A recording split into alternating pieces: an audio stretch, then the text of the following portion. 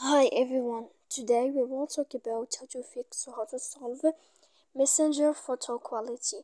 To know how to fix or how to solve messenger photo quality, you should just go to settings like this, you will click.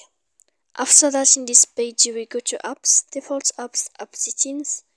When you will see this list you will go down to find the application of messenger and you will enter here then in this page you will go to click force stop. After that you will enter to storage. When you will see this page you will click clear cache. Then you will go to click clear data. And after all that when you will end this you can turn off your Wi-Fi. So please don't forget to support us by like and subscribe.